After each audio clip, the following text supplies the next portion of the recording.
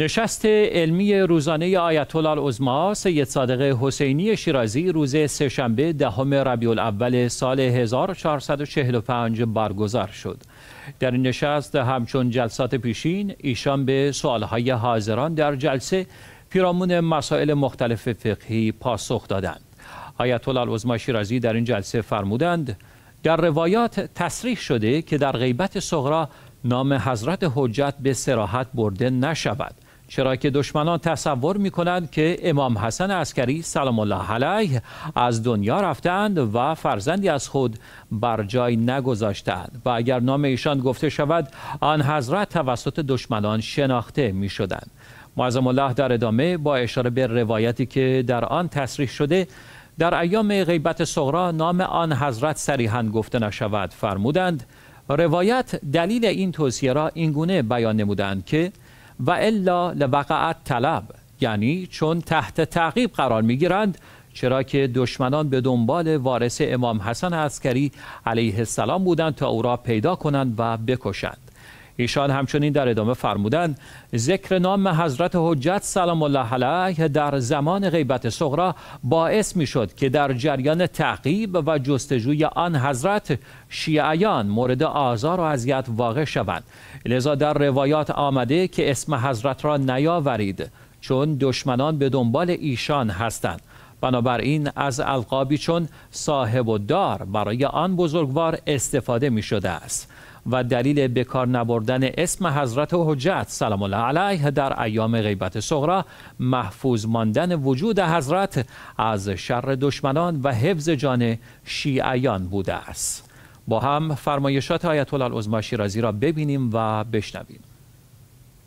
چون مالک خونه بودن بعد از پدر بزرگوارشون تنها وارث بودن و مالک بودن. همش مالشون بود. خب این القاب به لحاظ مناسباته. چون بنا نبوده در ایام غیبت صغرا حضرت فرمودن صریحا گفته نشه و الا لوقعت طلب چون دشمن دنبال این بوده که وارث و فرزند امام عسکری علیه السلام رو پیدا کنه بکشه.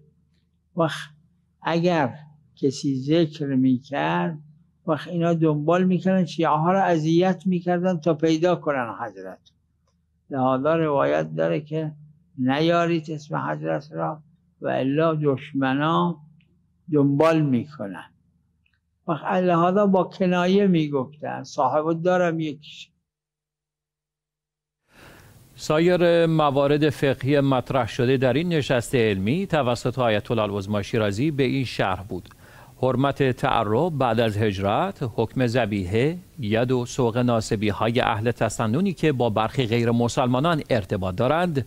شرایط قرب به حضرت حجت نحوه اجرای احکام توسط معصومین حکم مقابله به مثل هنگام تعدی حکم شهادت سوم در تشهد چگونگی اثبات دین حکم صحت وضوع در صورت اصراف آب حکم پذیرش و مدارا با همسر و پذیرش خواسته های او و حکم فروش زمین های دولتی از دیگر مواردی بود که در این نشست علمی توسط آیت الله العظما شیرازی به آنها اشاره و یا پاسخ داده شد.